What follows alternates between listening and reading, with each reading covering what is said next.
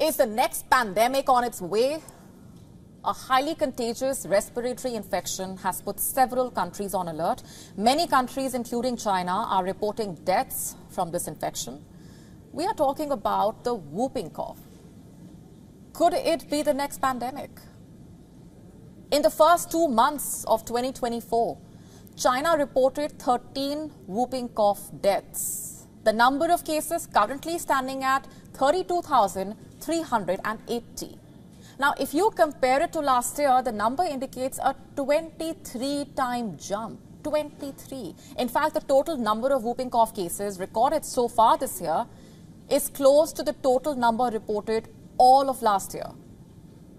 Parents in China have been asked to get their children vaccinated against pertussis or whooping cough as soon as possible.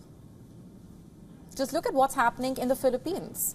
Earlier this week, the country said its whooping cough cases are 34 times higher than last year. 34 times higher. The Philippines has already recorded 54 whooping cough deaths between January and March this year. And of them, 49 were young children. Deaths have also been reported in the Czech Republic. In fact, the country is suffering its biggest outbreak since 1963 with over 3,000 cases reported so far. People are also dying of whooping cough in the Netherlands. Four infants have died in February and March.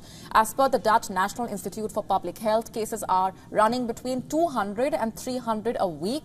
The UK and the US have also reported outbreaks. The UK reported 555 cases in January. In January, the number nearly doubled to 913.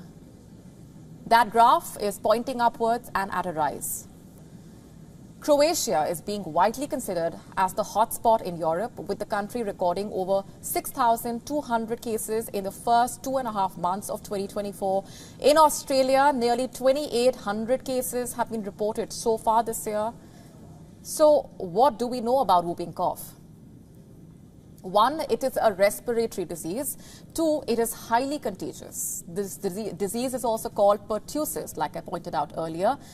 You know why? That's because the infection is caused by a bacteria called Bordetella pertussis.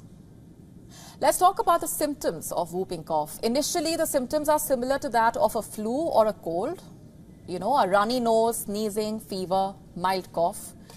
But it does not stop at that. Within a week, the cough gets worse. The coughing also becomes more frequent. Between the bouts of coughing, you may find the patient gasping for air, producing the whoop noise, which also is where the name comes from, whooping cough. This disease is also called the 100-day cough. Sometimes the cough can last for up to 6 to 12 weeks. It gets scarier and deadlier when the cough affects infants and newborns, and that is because whooping cough can lead to pneumonia in babies. It can also cause brain damage. Currently, teenagers have been making up the majority of cases, at least in Europe, but most of the deaths are being recorded in babies. Whooping cough is not new. It goes back to the Victorian era. In fact, the whooping cough would make regular appearances in Charles Dickens' novels. Why has it made a return now is the question. Experts are pointing at a drop in vaccination rates. Experts are also concerned that the bacteria causing whooping cough may be becoming immune to the vaccines and the antibiotics. And here's what else is being blamed COVID 19, the Wuhan virus. The pandemic took a toll on whooping cough vaccination. Many ended up missing their shots. What does this new wave of whooping cough mean for India?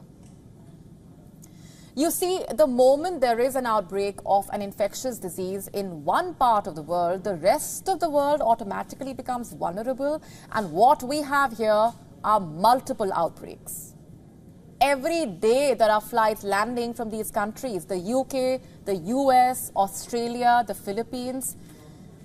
So India needs to have its guard up. Two cases were reported in the end of January. We have not been able to find credible data on what the status of whooping cough in India currently is. But if you or someone you know has symptoms, if your cough has been persisting for a while, please contact your doctor immediately. To stay up to speed with the latest news, download the WION app and subscribe to our YouTube channel.